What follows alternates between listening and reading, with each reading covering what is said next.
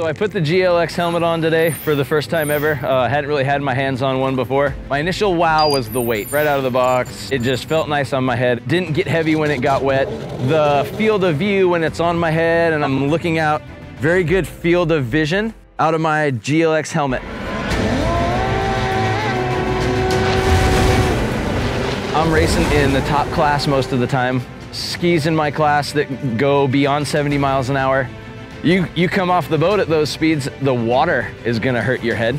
So I need something that protects my head potentially from another boat going 70 miles an hour past my head. So in aspects to safety, the GLX helmet meets my safety expectations.